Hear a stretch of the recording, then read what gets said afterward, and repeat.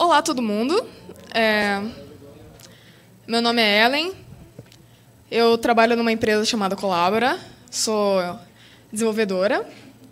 É, Eu queria pedir perdão aqui porque os slides eles estão em inglês, que eu fiz essa palestra no passado. Mas, enfim, eu vou falando. Eu espero que isso não é, não tenha problema no entendimento aí da palestra. Então, o objetivo dessa palestra é ser um guia para quem está começando. São informações que eu achei interessante quando eu estava começando, que eu acho é, são informações espalhadas por vários lugares e me foram, me foram úteis assim para entender o Debian como um todo.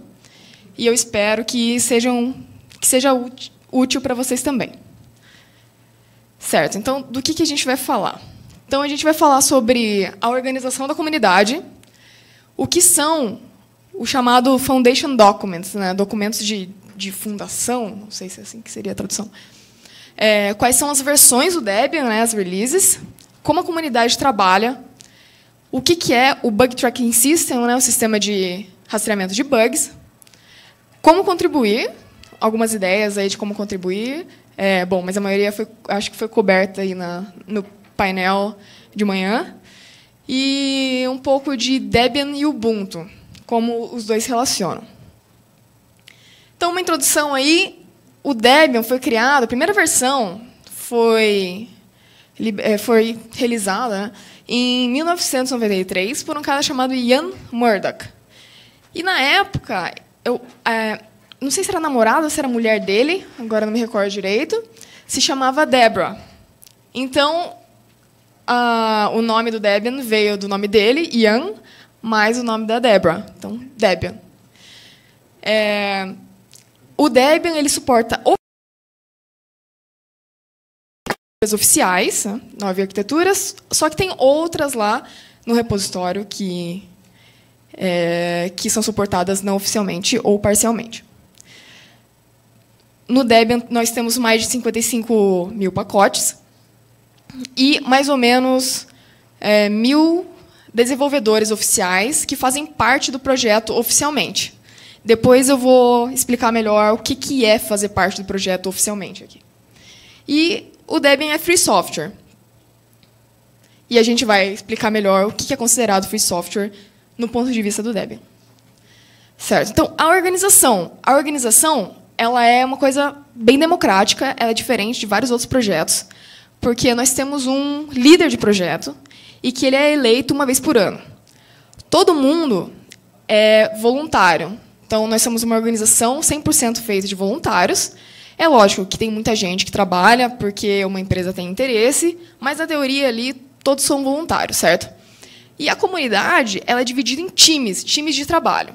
Então, nós temos, por exemplo, time de. Está meio pequeno ali, mas é o time de DSA, é, Debian System Administrators, são os administradores da infraestrutura do Debian, aqueles que cuidam das máquinas é, que rodam pelo mundo, é, que tem, que cuidam, que estão lá, onde estão o seu a infraestrutura, onde estão os pacotes e, e diversas coisas.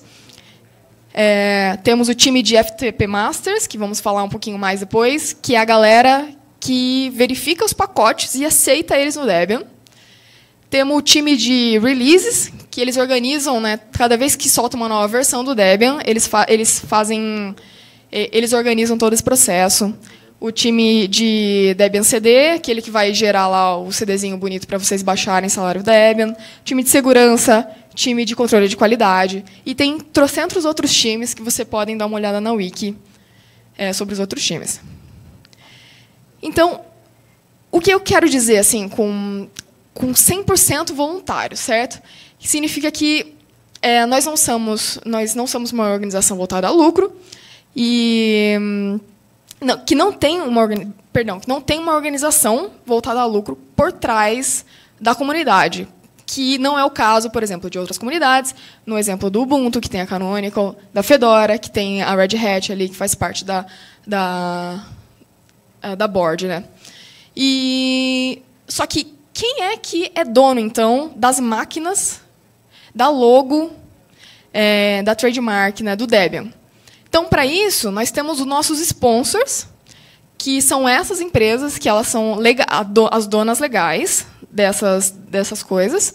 E a, nossa, o nosso principal sponsor é o SPI, né, SPI, que é o Software in the Public Interest.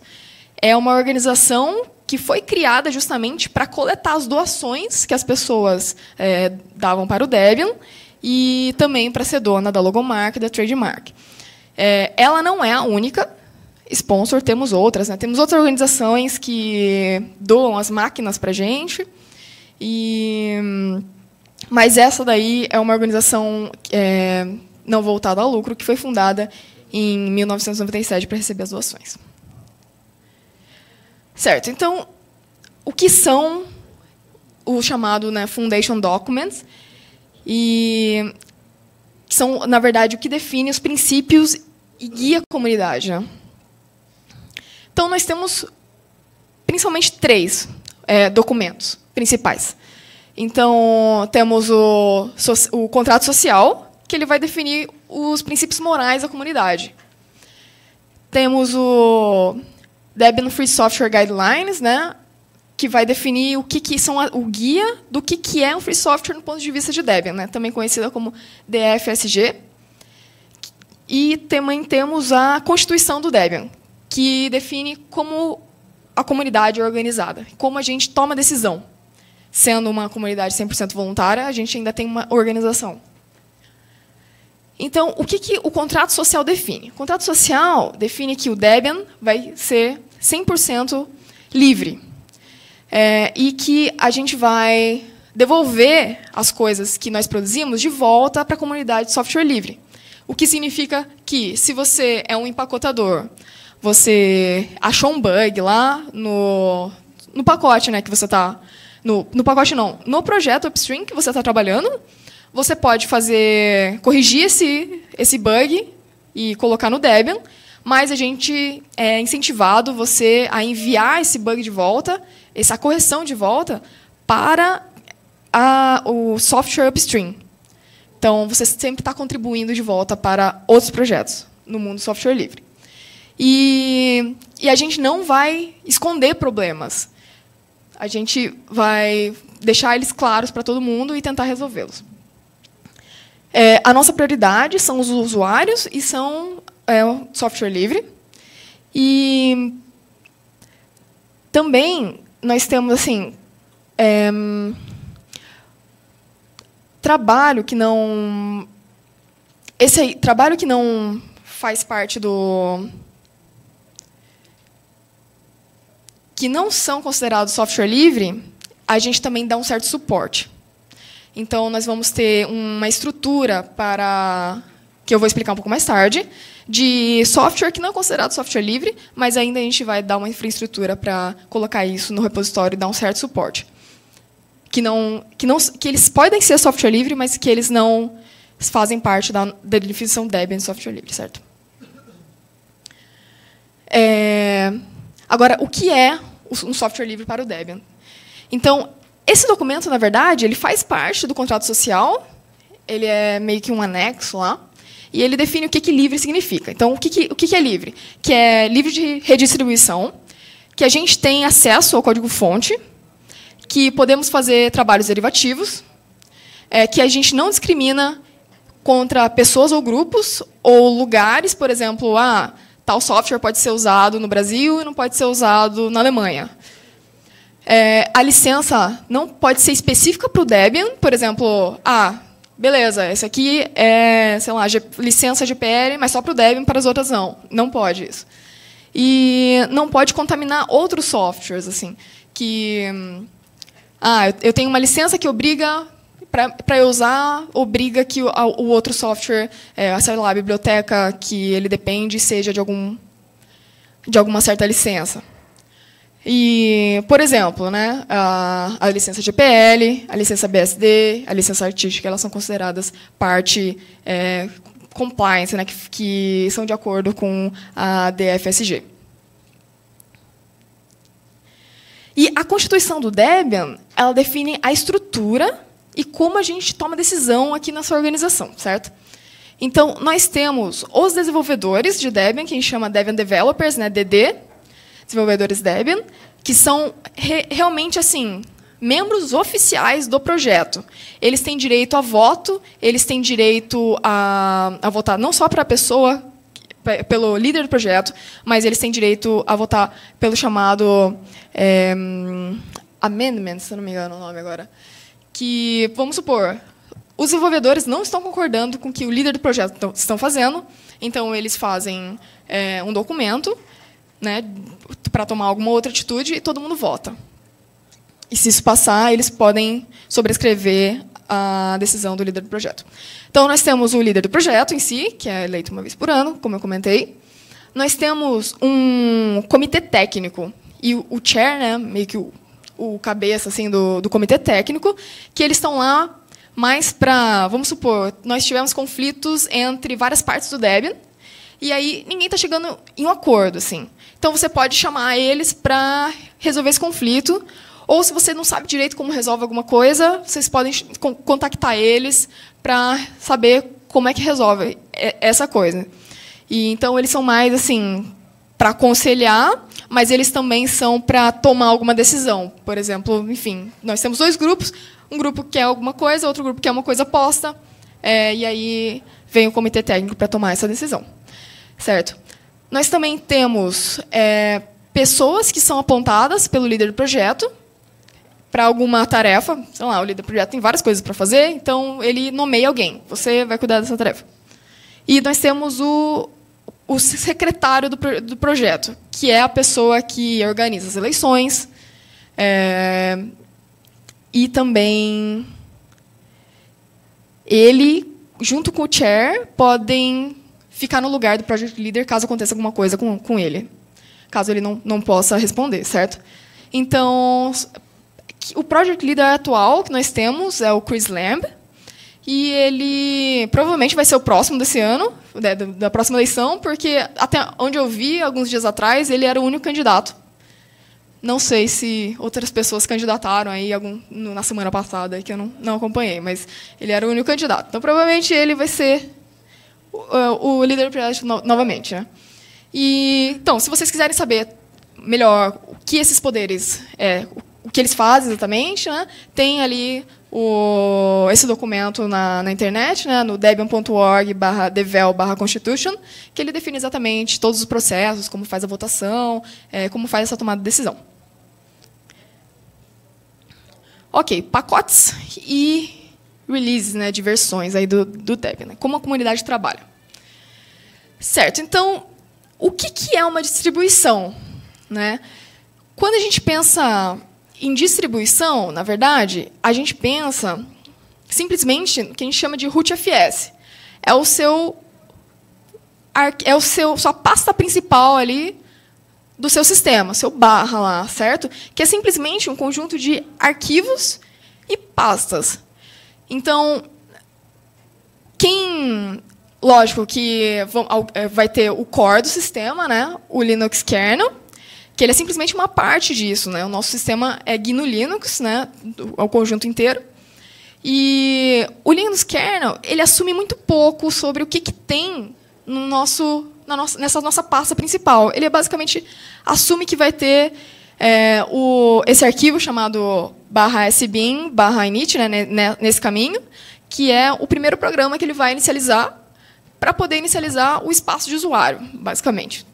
E, então, na verdade, ele assume pouco.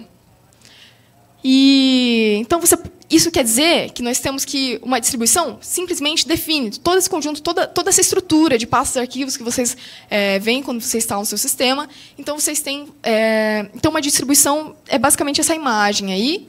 E podemos ter outras distribuições. Quando eu falo que o kernel assume pouco, quer dizer que cada distribuição é livre para se organizar da maneira que quiser. Então, o barra sbin barra init inicializa o user space, né? e uma distribuição também vai ter um conjunto de programas e caminhos bem resolvidos, né? porque quando você tem um programa que precisa de outro para executar, ele precisa achar esse programa no sistema. Então, a distribuição ela é, assegura isso para você. E também uma distribuição, principalmente distribuições baseadas em Linux, provavelmente tem, que é no caso do Debian, uma definição de formato de pacote. O que é um pacote, né? Como foi explicado né, no painel de hoje de manhã, um pacote, falando uma parte mais técnica, ele é simplesmente o nosso software, é, vamos supor, né, o GIMP, ou, é, que é um editor de, de imagem, ou o VLC, né, que é o que você escuta música, é, alguém fez lá, mas não necessariamente fez para o Debian. Então, o empacotador ele vai pegar esse software e vai colocar várias metas informações para que o sistema saiba como instalar ele é, de mais fácil. Então, é mais fácil a instalação, é mais fácil a distribuição para as pessoas. Então, nós temos dois tipos de pacotes, certo? O pacote source, né, o pacote fonte, e o pacote binário. O pacote source ele define como, como é, buildar, né, não sei qual, seria a tradução de construir, compilar né, o pacote original. E o pacote .debian ele já tem lá todos os binários para você. você. É fácil, você instala, ele só copia os arquivos para o lugar certo do seu sistema e tudo vai funcionar bonitinho. E nós temos também uma ferramenta de instalação desses pacotes, que, que é o, que, por baixo é o DPKG, né? É, mas vocês provavelmente é, usam o apt para instalar pacotes, certo? E, além disso, a distribuição ela fornece uma estrutura de repositórios para manter esses pacotes. Vocês têm que baixar esses pacotes de algum lugar, entendeu? Então, nós vamos ser um conjunto de servidores e um conjunto de que a gente chama de mirrors, que são simplesmente outros lugares que fazem cópia desses pacotes para você conseguir baixar eles mais rápido, né? Você não quer baixar um pacote que vem do Japão, senão pode demorar muito. É... Enfim, nós temos o nosso manager de pacote, né, que o, no, no Debian, que é o apt. E você pode pensar uma, um ponto de vista aí do, do Debian, do, de uma distribuição, é que tudo, na verdade, é um pacote. E todo, todo arquivo que você tem dentro do Debian, se você tem comando lá, que é dpkg-s, você consegue colocar o arquivo, você vai ver que todo arquivo dentro do, do Debian é parte de um pacote. Quando você instala ele, tem vários arquivos que já vêm lá por default, mas é porque alguém já botou os pacotes lá quando, quando criou a, a, aquela, aquela imagem. Então, basicamente, o workflow da comunidade é fazer é, essa administração de pacotes, certo? Ver que, qual, quais pacotes vão entrar, é, como empacotar, é, verificar se, tudo, se esses softwares estão na licença correta e etc. E, e você pode instalar né, o Debian através uh, das imagens de instalação de CD, que é uma que ele vem com várias ferramentas, né, e já com um set específico de pacotes para você. Então, basicamente, você pode ver que a dinâmica da comunidade se baseia em, em duas coisas. Assim, tem uma microdinâmica e uma macrodinâmica. Né? Vou falar da microdinâmica é, por enquanto. Então, a microdinâmica é uma, é uma administração por pacote. Então, você vai ter lá o mantenedor do pacote, certo? Que vai cuidar que aquele, aquele pacote é, se integre ok no seu sistema. E ou esse pacote pode ser administrado, na verdade, não por uma pessoa, mas por um time de desenvolvimento. Então, às vezes, o pacote é muito grande, é, dá muito trabalho, então eles se organizam em, em times para cuidar daquele pacote, certo? E hum, também, além disso, dentro do pacote, né, vai ter uma dinâmica de pessoas que vão enviar é, correções, né, vão enviar patches, vão fazer, outras pessoas vão revisar esses patches, vai ter é, os mantenedores vão fazer update, vão, tem outras pessoas vão testar, outras pessoas que vão aplicar é, correções de bugs e outras vão simplesmente falar, ah, tem um bug ali, tá, tá, tá aí, tô te informando, né? Então, essa, essa é a microdinâmica principal dentro da comunidade. E a macrodinâmica aqui é controlar o que, que entra nos repositórios, certo? Então, quais pacotes vão para quais repositórios, né? E quem tem acesso a, a essa infraestrutura, o, as versões em si, né, tem que fazer um, uma administração dessas versões, a administração do, do service que nós temos, das licenças, né, se o software faz parte ou não, segue o DFSG, e, e também controlar, é, distribuir uma forma das pessoas instalarem. Né? Que as pessoas podem instalarem. Você poderia instalar o Debian na mão, pegando pacote por pacote lá, copiando, colando, mas assim, não é muito prático, certo? Então, as pessoas preparam um, um, ou um CD de instalação, ou você pode também usar uma ferramenta chamada VM Bootstrap, que ela gera para você uma imagem, principalmente para máquina virtual, ou usar o Live CD para testar. Beleza, então quais versões a gente tem? Então, o nome das versões são baseadas em é, personagem do Toy Story. Então, nós temos três versões principais do Debian. Nós temos o Unstable, que também é conhecido como SID.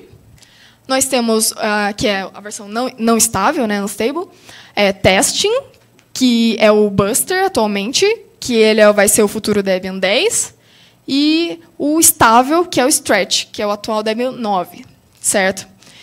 E o que é um repositório? Sabe? Um repositório, na verdade, é apenas um, um centro de um pacote de uma determinada versão.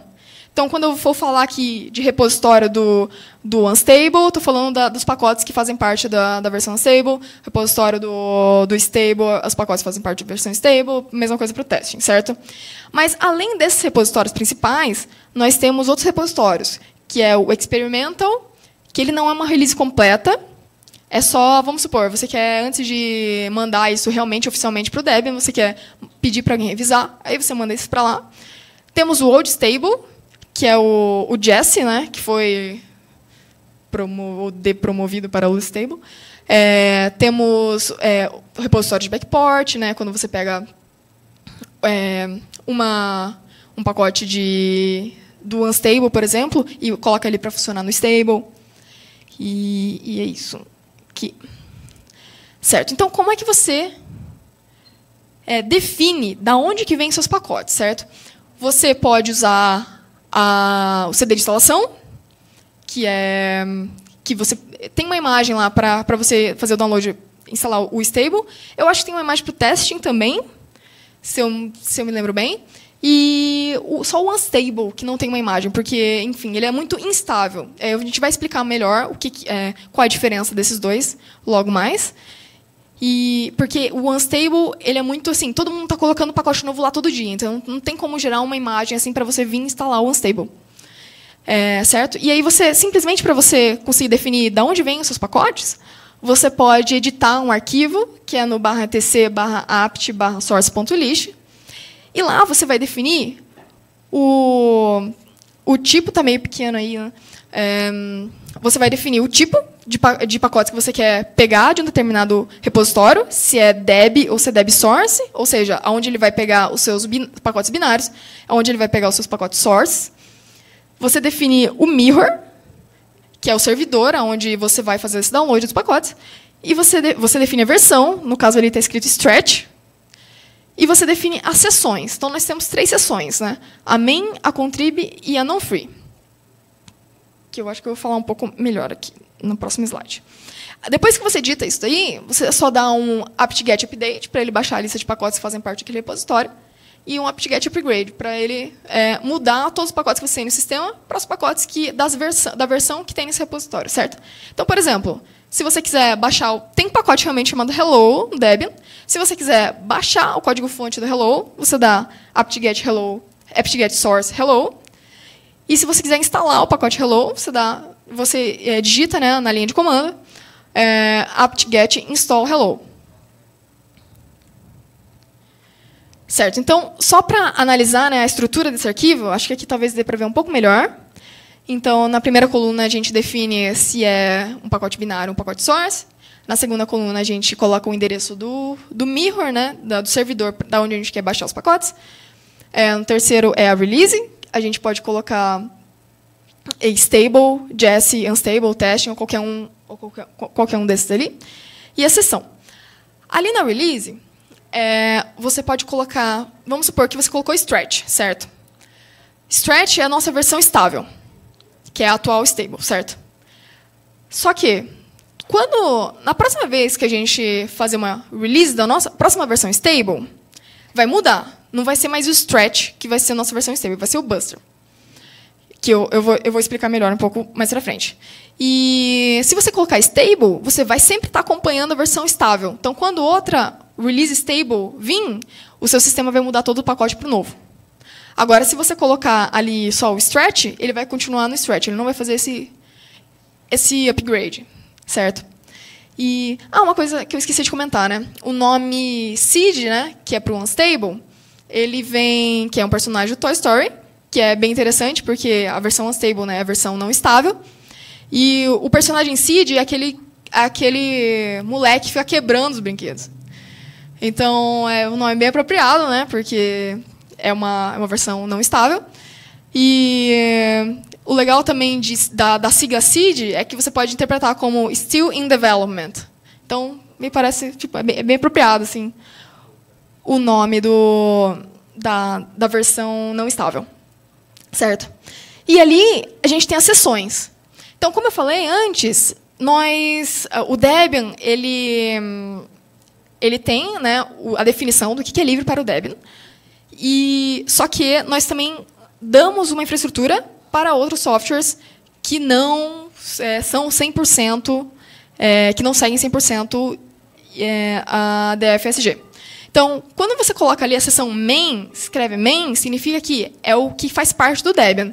Então, você só vai usar pacotes que são que seguem a DSF, DFSG. Agora, o contrib, eles também seguem a DFSG, mas ele, quando você coloca ali a seção contrib, mas os pacotes dessa seção depende de algum pacote que não são livres. E a seção não free são, são uma, é uma seção de pacotes que não são livres, que não seguem a DFSG. Certo. Ok, que é o que eu acabei de explicar. É, então, o, a, a main ela faz parte da DFSG, e todas as dependências dela também fazem parte da DFSG. O contrib, algumas dependências não são, algumas dependências não, não fazem parte.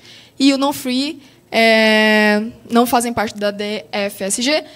É, e nós consideramos que eles não fazem parte do Debian, mas damos uma infraestrutura para eles, mesmo assim.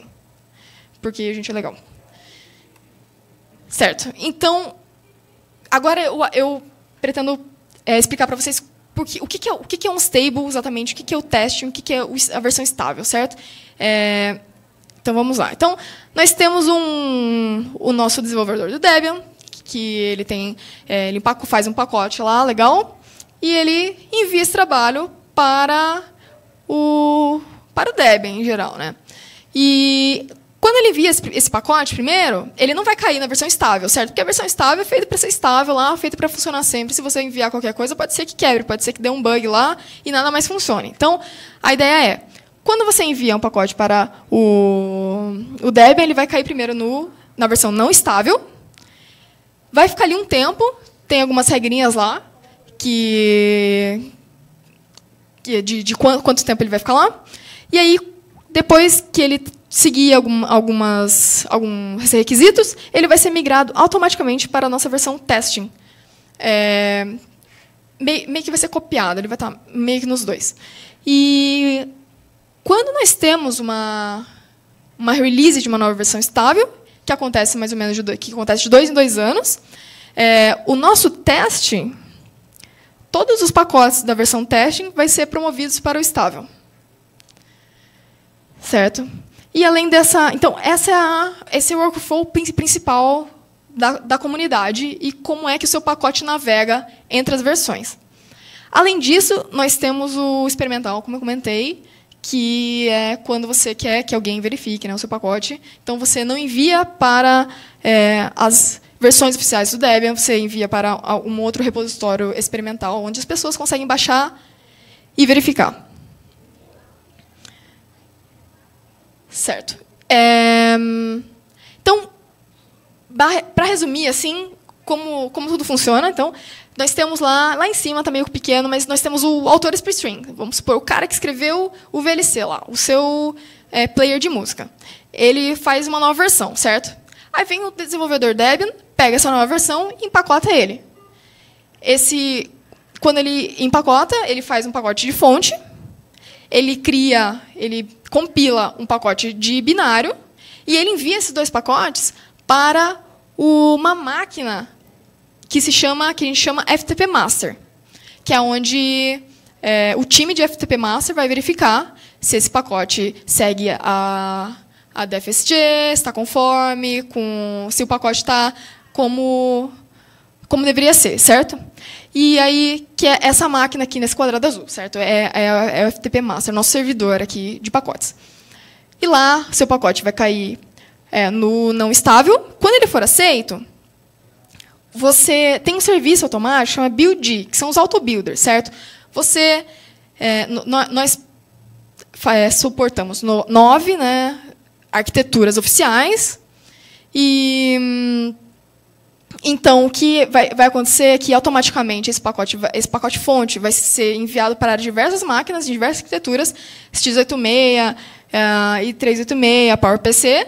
Essas máquinas, é, essa infraestrutura, ela vai compilar os pacotes binários para você, para automaticamente, e vai colocar de novo no unstable, certo? Então, primeiro cai no unstable, aí depois vai para testing stable, da mesma forma que a gente viu na, na vez passada, e aí tudo isso é copiado para os mirrors, que quando você dá, você usuário aqui no, no, no, ponto, no, no, no final, quando você der apt install hello, é, ele vai baixar é, do servidor mirror, certo?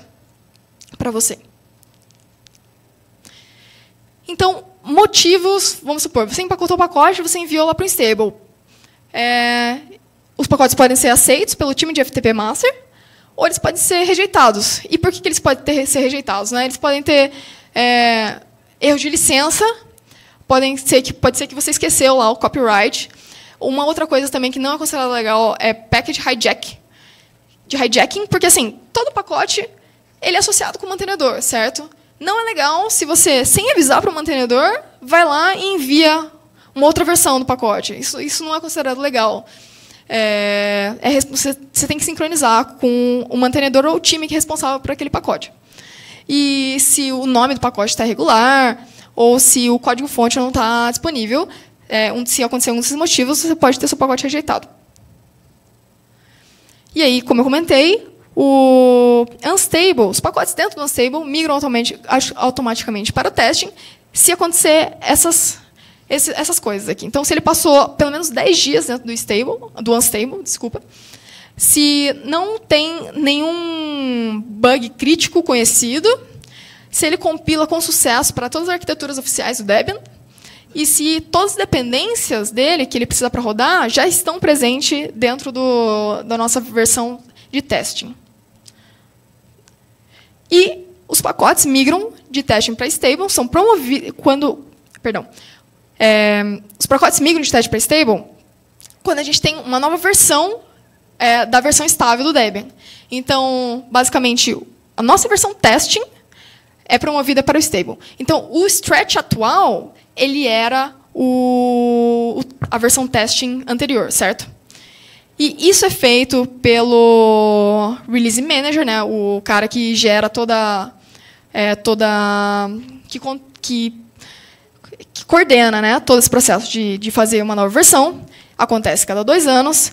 E isso acontece de forma gradual. Então, é, para evitar transtornos, o que, o que acontece? Né? Então, você pega o testing, a release de testing, você com, começa a congelar algumas mudanças. Então, nós primeiros temos uma, uma, um congelamento de, de transição de, de, de, bibliotecas, que é, vamos supor, você tem um pacote que depende de uma biblioteca, sabe? ou, ou vários, vários outros programas que dependem de uma determinada biblioteca. Se você mudar essa biblioteca, essa biblioteca muda de, é, de ABI, né, que, que a gente fala, muda, muda lá os headers, você tem que recompilar todos os outros pacotes para linkar de novo com essa biblioteca. Então, primeiro a gente começa a congelar isso, para não ter mais essas, essas, essas mudanças. Depois a gente começa, é, a gente chama de um soft freeze, né, um congelamento parcial, que não, não aceitamos mais novos pacotes. É, e depois, é, que, que é, só aceita só aceita novas versões que corrigem é, bugs. E depois a gente tem um full freeze, né, um congelamento completo, onde nós só aceitamos pacotes que resolvem bugs críticos. E, por exemplo, né, o que aconteceu né, na, na, na última vez, na, na, quando a gente foi lançar o Stretch, então, em, em novembro ali de 2016, nós começamos a congelar novas bibliotecas. Depois, ali em 2017, em janeiro, nós não aceitamos mais novos pacotes. E em fevereiro, nós só aceitávamos é, correções de bug fix. E no, em julho, nós tivemos a, o lançamento oficial do Stretch com a nossa versão nossa nova versão estável, certo? Então, antes da release do Stretch, a gente tinha lá como a nossa versão estável era o Jesse, a nossa versão teste era Stretch e a nossa versão unstable, né, não estável, era o Seed. E depois dessa release, o Stretch foi promovido para estável, o, tem um novo nome foi atribuído para a versão de teste e o unstable sempre continua com o mesmo nome, né? E o interessante é que essa, essas três primeiras datas, elas geralmente são acordadas previamente, certo? Mas a data de lançamento final, ela não é porque eles a, a, comunidade eles tentam corrigir todos os bugs primeiro críticos pelo menos antes de lançar tem, lançar, lançar a versão estável então todo mundo tenta estabilizar primeiro o sistema antes de lançar a versão estável então a data de, de lançamento né é, não é muito bem definida. E, na época, se você entrasse no site, você conseguia ler a seguinte frase lá no, no site do Debian, que é As always, Debian 9 Stretch will be released when it's ready. Que é, como sempre, a próxima versão do Debian vai ser só lançada quando estiver pronta. Ou seja, nenhuma previsão é, de quando vai ser lançado. Mas assim, confie no bom senso das pessoas que vai, vai ser lançado assim, em, em algum período de, de tempo. Assim. É, nesse caso, foi uns quatro meses depois da, do full freeze. Certo. Então, quanto tempo né, o que, é, a versão estável é suportada? Quando eu digo suportada, é que assim, na versão estável, você, ela é estável, certo? Novas funcionalidades não entram mais nela. O que só entram nela são correção de bugs. E quando a gente fala suportado, é alguém olhando lá, pessoas testando e pessoas aceitando correções de bugs, incluindo incluindo isso no estável, certo? Então a versão estável, ela tem um suporte de mais ou menos três anos. E nós temos também um long-term support, que dá um suporte por mais de dois anos, além desses três anos, que são feitos por empresas voluntárias, que elas não fazem parte da comunidade Debian, mas elas mantêm mesmo assim essa versão estável, pois é importante para elas porque o Debian vai em muito equipamento por aí industrial, certo? Então eles têm todo o interesse em manter, em corrigir bugs, bugs de segurança, principalmente, em manter essa versão estável é, atualizada. Então, uma versão estável tem mais ou menos um suporte aí de cinco anos.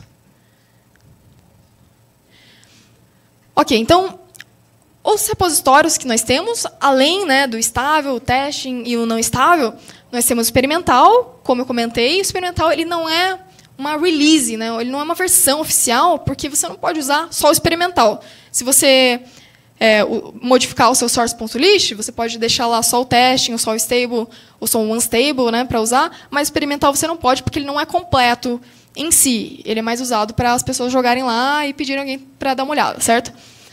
É, nós temos também um backport, que são pacotes né, que do, do, da, do não estável, que as pessoas portaram, ou, ou do testing, perdão, que as pessoas adaptaram para que ele funcione bem na versão estável atual. Então, vamos supor, tem uma nova versão da do VLC, que tem um monte de funcionalidade.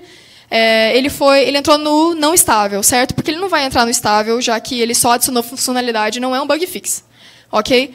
É, mas alguém quer muito fazer ele funcionar com a versão estável. Então alguém vai lá, porta ele, né, para ele funcionar com a versão estável, e ao invés de incluir ele no repositório de estável, para não prejudicar quem está seguindo o repositório de estável, então ele adiciona nesse outro repositório que chama backport. Ok? Tem um, outro repositório chamado updates, né, onde vai os updates. É, o old stable, que é, enfim, como o nome já diz, é, o, é o, a versão estável, estável antiga, que é o nosso caso Jesse, e tem várias outras. Como podemos ver nesse grafo meio complicado, certo? É, Então, basicamente, o que a gente considera em desenvolvimento? Então, repositórios em desenvolvimento ali. Vocês vão ver o não estável. Eu, eu não vou passar por todos esses, mas se vocês tiverem dúvidas e quiserem saber detalhes sobre o que, que é cada repositório, eu posso explicar para vocês depois. Então, ali a gente consegue ver né, a versão não estável, ver, que é a parte em desenvolvimento, que em vermelho, o testing, que são os que estão em amarelo, e as versões em, que a gente chama em produção, né? as versões estáveis, que são o verde ali. Certo? Então, essas linhas, mais ou menos, mostram para você o fluxo dos pacotes, como funciona. Ok? Certo. Então, mantendo o pacote. É, meros mortais, como eu e como muita gente aí, é, que não são nem Debian, não são membros oficiais do projeto, não, não têm acesso a submeter o pacote diretamente para o Debian. Você faz isso geralmente através de uma outra pessoa, certo? Então, nós temos, na verdade, dois papéis, duas pessoas que podem fazer a submissão. Um é o Debian Maintainer, que a gente chama de DM, né, um mantenedor de um pacote, que ele pode submeter pacotes diretamente para os repositórios do Debian.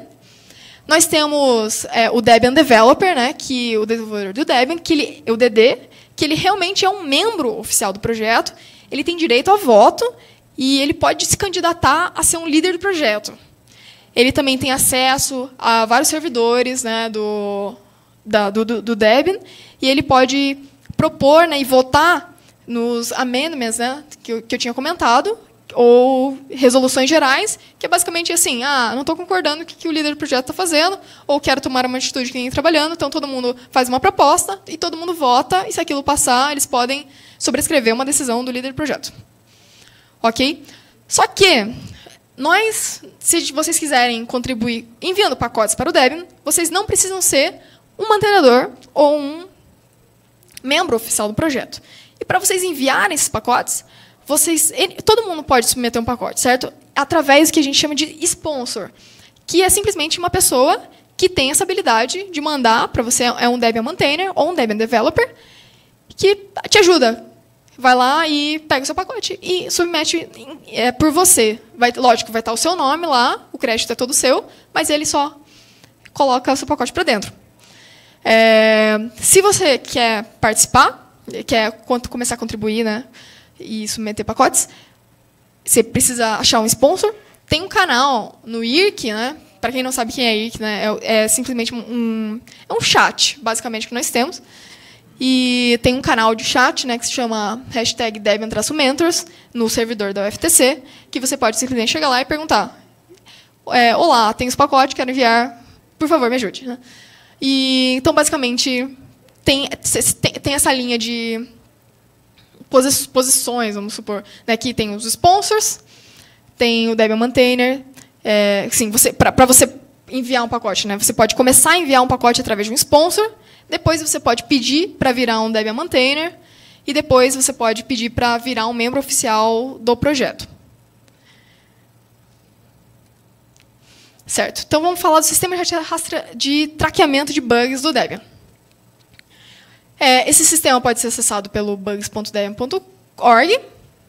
E esse sistema que nós temos, né, online, ali que vocês podem ver, ele não é só para bugs, mas também para requisitar, fazer umas requisições, por exemplo, se você quiser uma nova funcionalidade no Debian, você pode colocar lá é, essa sugestão. Se você precisa de ajuda, você pode pedir por, pelo sistema de bugs. O sistema de bugs é basicamente é, você está registrando alguma coisa, certo? Ele tem é, o que a gente chama de tickets. assim. Você pode abrir e escrever alguma coisa é, que, que a gente vai, inclusive, reportar bugs, mas também não é só isso. E cada bug, quando você reporta um bug, ele sempre está associado com uma tag. Ou essa tag pode ser um pacote, mas não necessariamente é um pacote, que a gente vai ver. É, temos uma interface e-mail para reportar um bug. É simplesmente um e-mail, na verdade, num formato específico.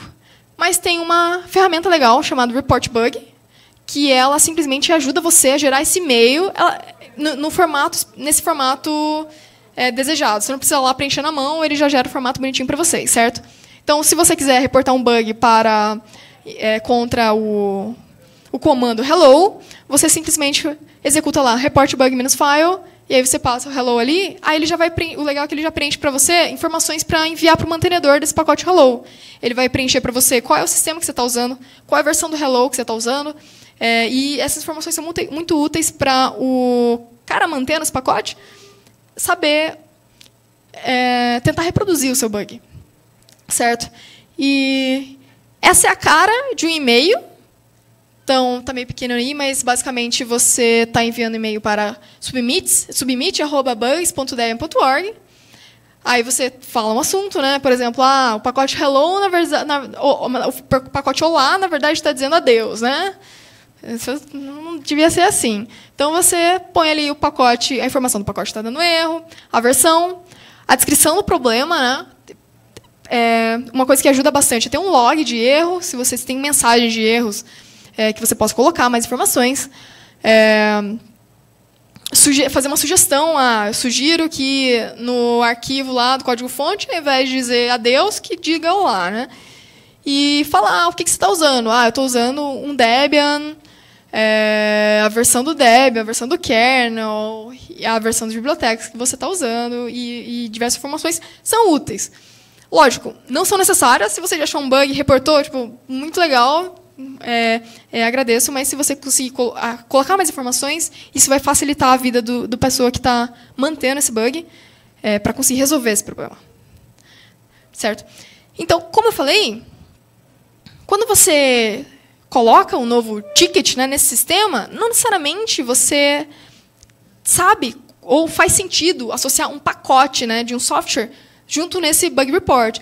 Às vezes, o bug pode ser um, um bug geral, assim, que você não sabe aonde, aonde encaixar, ou ele pode ser um bug no, nos mirrors, ou pode ser um bug na, na, naquele sistema que a gente viu ali de, de aceitar pacotes que não está funcionando direito, você submeteu e não chega, alguma coisa aconteceu, certo? Você não, não tem um pacote associado, é um, é um bug na infraestrutura.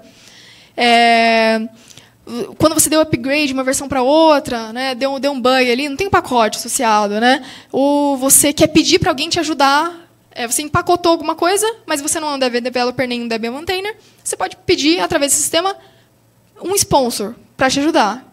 É, então, é, essas, essas essas tags que a gente fala aqui é o que chama de é, pseudopacotes, que é o que você, quando você preencher o formato lá do e-mail, quando você for colocar, preencher lá o pacotes, é essa pseudotag que você vai, vai preencher. E tem um negócio legal, que eu vou falar um pouco mais agora, que é um, é uma, é um pseudopacote né, chamado WNPP, que é Work Needing and Prospective Package. Aqui vamos ver o que é isso, certo? É, todo pacote, ele geralmente está associado a um mantenedor, né, que mantém o pacote, ou um time que cuida desse pacote, ou está órfão, coitado do pacote, está lá abandonado, ninguém está cuidando dele, é, não está sendo atualizado mais, ninguém está é, resolvendo bug, certo? Então, vamos supor que você quer ir lá pedir ah, eu quero empacotar esse negócio. E é legal você registrar isso no sistema, porque vai que outra pessoa tem a mesma ideia que você.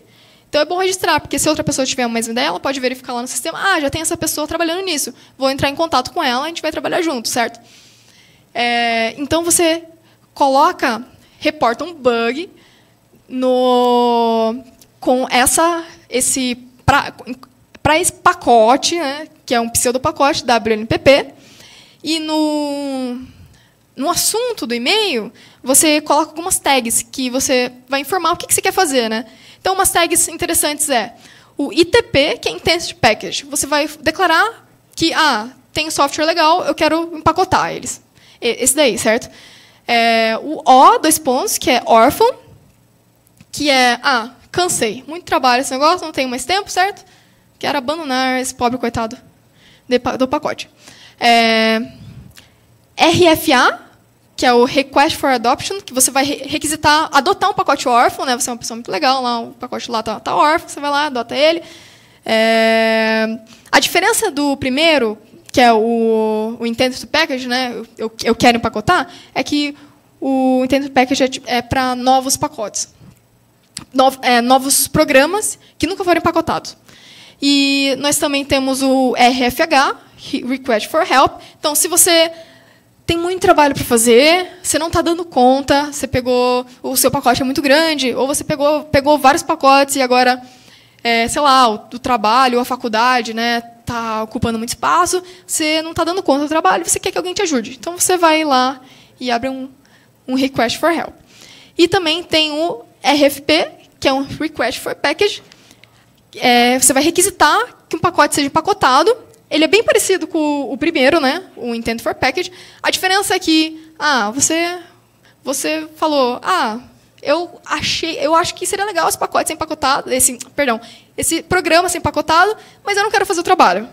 Então, você deixa lá que você, que você se interessa por isso, entendeu? É, então, um exemplo... Ah, está muito pequeno, não dá para ver. Mas, enfim, esse é um...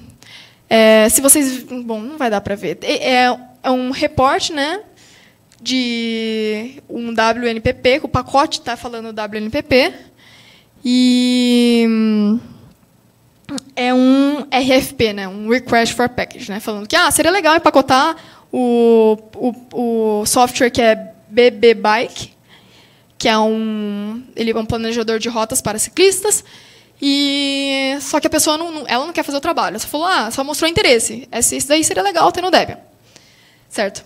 Então é mais ou menos assim que você interage é, em relação a pacotes com a comunidade, através do sistema de, de, do BTS, Bug Tracking System, o sistema de rastreamento de bug. Ok, então como contribuir, né? A gente falou várias coisas no painel que foram muito, muito legais, eu achei. Aqui, várias coisas aqui já, tão, já foram cobertas pelo painel. É, então, por exemplo, você pode ajudar com documentação, é, com tradução, você pode ajudar reportando bugs, é, você pode ajudar também enviando e revisando é, correções, ou que a gente chama de patches, né? Então, se você achou um bug, você pode resolver ele, aí você pode enviar é, esse patch, ou, ou não. Ou se outra pessoa que enviou essa correção, você pode ir lá e dar uma olhada verificar se está tudo ok né, com essa correção que ela fez e dar um joinha lá. Ó, eu dei uma olhada, verifiquei. Porque aí o mantenedor já vê, não, já tem alguém que olhou. É, não precisa olhar tão a fundo agora. E hum, você pode também ajudar mantendo o pacote, é, pode ajudar também ajudando novatos. E uma coisa que eu acho que não foi comentada né, na, no painel de hoje de manhã é que você pode ajudar com doação. Isso também é, ajuda bastante o projeto. E outra forma é você pode adotar um pacote órfão. Né? Você gostaria de empacotar, não sabe o que projeto empacotar. Tem vários projetos abandonados lá é, que você pode adotar. Tem uma lista enorme e tinha vários projetos interessantes. Um projeto que eu tinha visto que estava antes órfão era, era o Dia, mas o Rodrigo adotou aí há pouco tempo. É, o Dia é um software de diagrama, era ótimo para a faculdade. Você fazia lá um fluxograma bonitinho, lá. É, era bem simples, bem simplistas, mas, mas bem eficiente, era bem legal. Tinha um também, eu acho que eu acho que era o BitTorrent, que estava o que BitTorrent, não lembro agora exatamente, que estava órfão também, que eu, eu, eu bati o olho e falei, caraca, eu usava isso, ele está órfão, né? É, e vocês podem lá dar uma olhada nessa lista e ver se tem alguma coisa que interessa e adotar esses pacotes. Ok, Debian versus Ubuntu, né? Tipo, muita gente pensa que as duas distribuições são concorrentes. É, só que quero desmistificar isso, porque o Ubuntu, na verdade, ele é uma distribuição, outra distribuição mantida né, pela Canonical, que ele é baseado no Debian. E o foco dele é, uma, é, é um pouco diferente. Né? Ele suporta apenas alguns algumas arquiteturas, né? nós suportamos no, oficialmente nove, o Ubuntu suporta apenas, lá está dizendo três, mas tem uma quarta lá que está meio em dúvida, mas é basicamente né, a x86, a MD64, PowerPC e tem essa da IBM S390X. É, então, o que, o que o Ubuntu faz? O Ubuntu ela paga pessoas, tá? certo? O Ubuntu é canônico, paga pessoas para manter mais ou menos uns 2 mil pacotes. A gente falou que o Debian tem 50, mais 50 mil pacotes, mas a, a Canonical ela mantém. ARM e ARM64 é suportado pelo Ubuntu? Ah, legal. Não, não, não, não, não tinha essa informação no, na página que eu vi. Muito obrigada por, por me informar. Então, parece que ARM e ARM64 também são suportados oficialmente pelo Ubuntu. É, então, a Canonical em si, ela tem um número muito menor de desenvolvedores do que o Debian, certo? A comunidade do Debian, como a gente falou, tem aproximadamente mil desenvolvedores aí. A Canonical é, é, é menor. E eles incentivam muito o desenvolvimento do Debian, pois quando a Ubuntu lança uma nova versão, o que eles fazem? Eles só mantêm, eles só mantêm dois pacotes, dois, dois mil pacotes, certo? E, e o resto dos 48 mil. Então, o que eles fazem é eles basicamente copiam todos os outros pacotes do Debian não estável para o Ubuntu. Lógico que eles fazem vários testes e tal. Então, basicamente, eles copiam. Então, se você, se você é um desenvolvedor do Debian, indiretamente você está contribuindo também para o Ubuntu. E, enfim, tem mais informações sobre essa relação né, entre Debian e Ubuntu né, nesses links, né, que é Ubuntu para Debian Developers, para desenvolvedores Debian, e Ubuntu para é, barra Debian para desenvolvedores Ubuntu. E é isso. É, só uma, mais uma coisa, antes de pegar perguntas, né, só queria divulgar essa conferência que a gente está fazendo. A gente vai fazer no final do ano, que se chama Linux Developer Conference Brasil, que vai acontecer dia 25 e 26 de agosto. Né, que a ideia dessa conferência é ser um meeting, um ponto de encontro internacional entre a comunidade de software livre do Brasil e, e do mundo, para sistemas core do, da, do ecossistema Linux. Então, é, a gente vai ter temas como embarcados, internet das coisas, televisão, automotivo.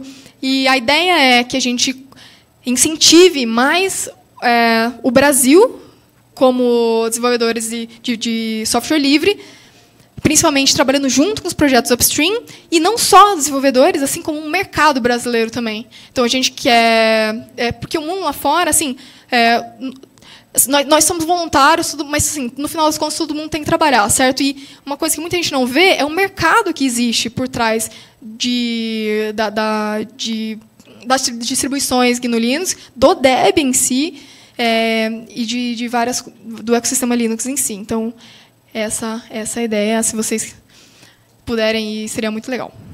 Bom, enfim, perguntas. Não sei se tem. Tem microfone para. Tá bom. Quanto à questão de segurança, é um time que faz eu submeto um pacote. Também vai checar a segurança do pacote, se vai ser uma peça de segurança. Tem uma checagem, o pacote ora. Uhum. Certo. É, a pergunta, então, é sobre segurança, se tem alguém que verifica a segurança do pacote, é, se tem alguma equipe específica que é, vê se tem falha de segurança e faz as correções, certo? Sim, nós temos, é, o nome da, do time é um time né, que, que, se chama, que é o Security Team, né, que não é, não é muito criativo o nome, é um time de segurança.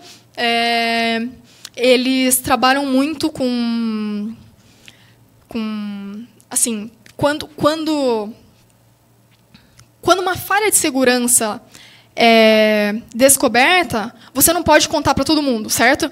Porque senão as pessoas vão começar a explorar esse bug, explorar essa falha de segurança. Então eles trabalham de uma forma mais privativa. Eles trabalham, eles primeiro, antes de divulgar que essa falha de segurança existe, eles vão tentar fazer a correção. Então esse time, é, entre eles, né, eles recebem é, esses é, reportes né, desses bugs de, de, de, vários lugares do mundo. Né? Tem é, o time mais famoso, eu acho que é o Google Project Zero, que eles é um time do Google que eles ficam fazendo teste de segurança em vários, em vários projetos de software livre. Então, é, é para esse time que eles vão reportar primeiro.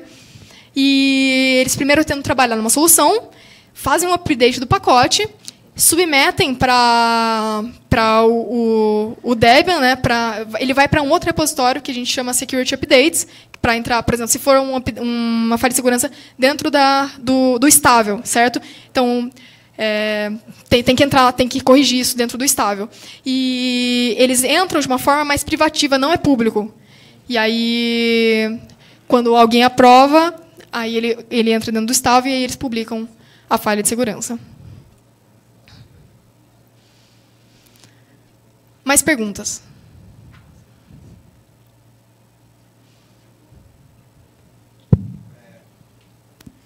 Obrigado. É um comentário sobre o LTS que eles não suportam todas as arquiteturas nem todos os pacotes. Ah, então tá. também é um porém né, da extensão, né? Então se você puder fazer o upgrade, né, é, só para aqueles casos mesmo que não tem por alguma razão não, não é possível fazer upgrade que por causa disso você pode estar na arquitetura não ter o pacote coberto. Entendi. Muito obrigada pela informação.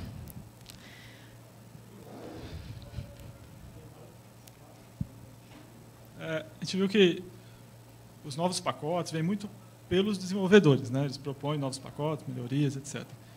E quando a, como é o processo quando funciona quando a, quem está na direção do, do, projeto quer que algo seja feito? Vem, quando vem de cima alguma, alguma direção que se deseja dar para o Debian? É, é muito difícil essa posição de vir alguma coisa de cima, que o negócio é muito, a gente chama né, de duocracia, né, que é fazedocracia, né, quem, quem faz tem o crédito. Então, o mantenedor ele tem a autoridade de tomar decisões no pacote dele, porque é ele que está fazendo esse trabalho. Né.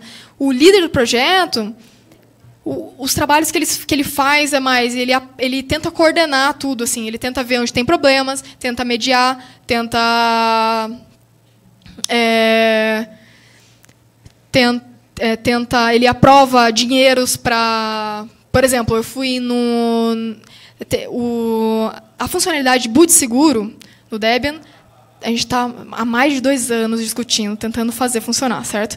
E aí o, o que a gente resolveu fazer é uma reunião em pessoa para a gente cara a cara sentar todo mundo que não estava concordando para tentar resolver os problemas, entendeu? Então aí o, o que é, ele, ele faz esse esse coordenamento financeiro. Então a gente pede para ele, ah, você pode pagar, né, para as pessoas certas irem viajar para a gente resolver esse problema. Ele vai lá e aprova. Entendeu? É muito difícil uma decisão técnica vir de cima. O que ele pode fazer é incentivar áreas, mas ele não é, é, é, porque todo mundo é voluntário, sabe? Você não pode obrigar ninguém a fazer alguma coisa. É, não, não sei se eu passei, se alguém tiver uma, uma explicação melhor. É, o trabalho do LTS, como você mencionou, tem algumas empresas, então, alguns desenvolvedores são pagos para fazer, mas hum. faz parte, de alguma maneira, da duocracia, assim como muitos de nós trabalhamos para alguma empresa e, nesse trabalho, acabamos por contribuir para o Debian. Mas houve um caso, há uns 10 anos atrás, eu diria, em que o DPL tentou votar para poder pagar os release managers, a, a comunidade, né, os desenvolvedores optaram por não topar fazer isso. No entanto, ele foi lá e fez de forma extraoficial e causou todo. Né, um... Com o dinheiro do, da comunidade? Com o dinheiro não, do Não, mas é, ainda assim causou um certo atrito né, entre Entendi. vários membros da comunidade. Então, é, é, um, é um exemplo do que aconteceu, né, de ver a história ali do que, que aconteceu naquele momento. Né? E hoje a gente tem o LTS que faz um trabalho extraoficial e que ninguém pediu permissão. Hum. Né? Naquele caso, ele pediu permissão, houve uma votação, a votação foi contra, ele fez mesmo assim e aí causou um problema. Né? né? Tem, tem um pouco daquela história, né? peça desculpas e não permissão, que é um hum. pouco dessa atitude de vai lá e faz, né? E se você fizer alguma coisa errada, aí você pede desculpas, porque se você ficar pedindo permissão, você nunca vai conseguir alguém que te permita fazer alguma coisa, porque não tem quem dê a permissão, como hum. você falou, né? É, em alguns casos, não é o cara que dita o que vai ser feito, também não é ele que autoriza. Né? Ele Sim. não tem autoridade para dizer se você pode ou não fazer. Então, é um caso legal de se estudar. Hum. Respondeu mais ou menos? última pergunta. É, Pode. Você falou que tem mil desenvolvedores pelo mundo, oficiais, pelo menos. O cenário no Brasil, de quantos desenvolvedores tem no Brasil, em que áreas estão atuando, os brasileiros. Assim. É, acho que foi comentado de manhã que tem mais ou menos 18 é, desenvolvedores Debian oficiais, né, que fazem parte do projeto, que não são oficiais. Eu não sei te dar uma estimativa, uma estimativa é, que, de pessoas que contribuem, mas eu acho que a gente tem uma, uma, uma comunidade bem, bem grande assim no, no Brasil que contribuem, não, que não fazem parte, não são Debian developers oficiais, né, que não fazem parte daqueles mil. É, mas, se eu não me engano, foi falado de manhã que tinha mais ou menos 18 brasileiros, 5 estavam fora do Brasil, alguma coisa assim, mas eu não tenho. Não, eu não, não sei dizer, na verdade. Bom, gente, muito obrigada. Esgotou o tempo aqui. Agradeço. Espero que tenha sido útil para algum de vocês. Desculpa se está em inglês muito técnico, mas bom, muito obrigada.